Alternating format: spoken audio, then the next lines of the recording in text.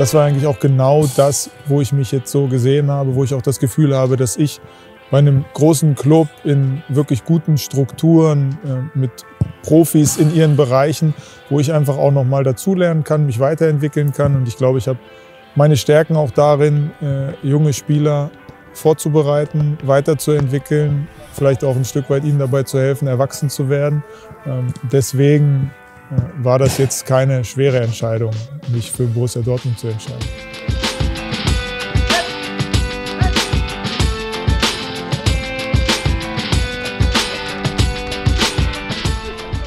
Klar kann man jetzt sagen, es ist eine Ausbildungsmannschaft, aber wir sind natürlich auch in der dritten Liga und nur eine erfolgreiche Mannschaft hat auch erfolgreiche Einzelspieler. Und für mich ist jetzt erstmal wichtig, dass wir uns als Mannschaft so entwickeln, ähm, dass wir erfolgreich äh, Spiele bestreiten.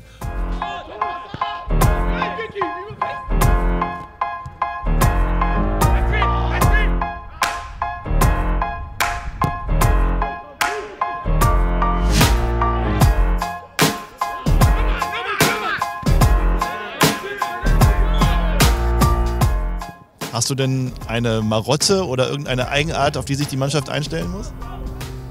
Das, das kriegen Spieler ja schneller raus als ich. Ne? Also ich hoffe, ich habe keine, aber äh, wenn du jetzt in ein paar Wochen die Spieler fragst, dann werden die mit Sicherheit ein, zwei Sachen haben, wo ich mich immer wiederhole, wo ich immer das Gleiche erzähle oder irgendeine Gestik oder Mimik, die ich mache. Also da würde ich dann einfach mal in ein paar Wochen die Spieler fragen.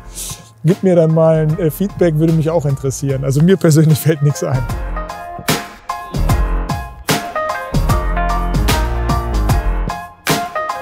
Was sind deine Ziele jetzt mit unserer U23?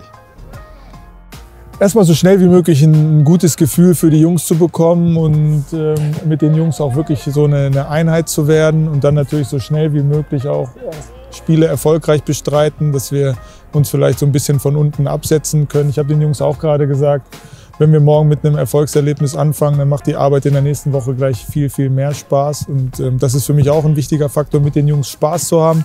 Den hat man in der Regel, wenn man erfolgreich ist. Und deswegen wollen wir morgen gleich damit loslegen, am besten Punkte einzusammeln.